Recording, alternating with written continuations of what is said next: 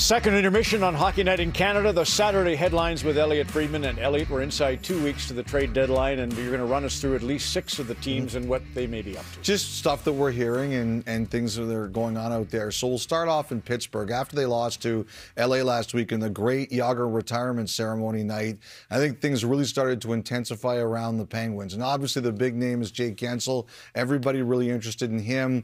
I think the some of the teams have expressed interest, include the lights of Vegas, Vancouver. Vancouver, Edmonton, Carolina, Florida, and I have no doubt that there are more. But I believe this has also gone beyond Guentzel. I believe there's other players in the Pittsburgh uh, organization that have begun to get attention.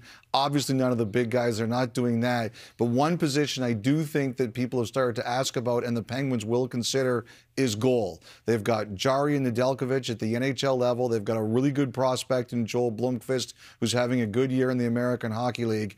And a couple of teams have suggested to me that you might want to add to the list of goalies who could be moved someone in Pittsburgh. You might go to the Edmonton Graphic there, Brian. But before you do, uh, because uh, Steve Staios and uh, Dave Poulin are watching, uh, is Karlsson going to Ottawa? Because there's been talk of that. And... no, that's just me spitballing. Let's okay. not get too okay. crazy about that one uh, at this point in time.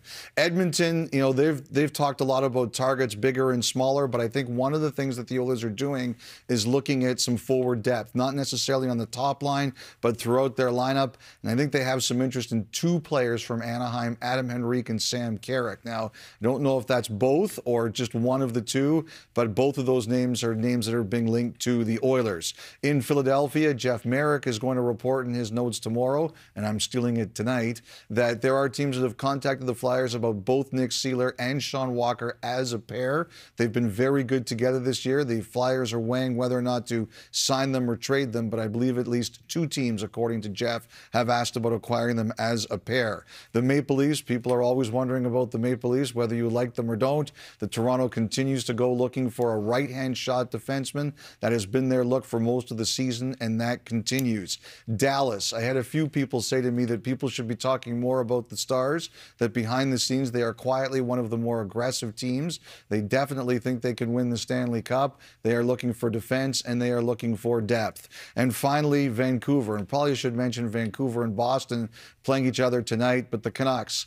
Uh, look, like Jim Rutherford's been at this a long time. They think they can win. He, there's a lot of things he could try to do. But one of the things I think that has developed over the last couple of weeks in Vancouver is the amount of noise around Pettersson. And I think what that has led to is teams calling the Canucks and saying, what exactly is going on here and could he be available? Now, the Canucks do not want to comment on this. They feel the noise is already enough, but they are telling teams we are trying to sign him, and that is our goal. Lastly, Elliotte, Joseph Woll, close? Yes, uh, he played last night for the Toronto Marlies in Laval, and he was very good 36 of 37 saves. And not only that, but Laval did not make his night very easy. For a player in his first game after a high ankle sprain, Laval made it tough on him. They knew everybody would be watching, and those players sure did their best to get noticed. And uh, he was very good. They didn't play him today, um, but he's very close, and we'll see what Toronto does in goal. They've got a couple days to figure this out. They go with three. Do they go with two? But Woll is close.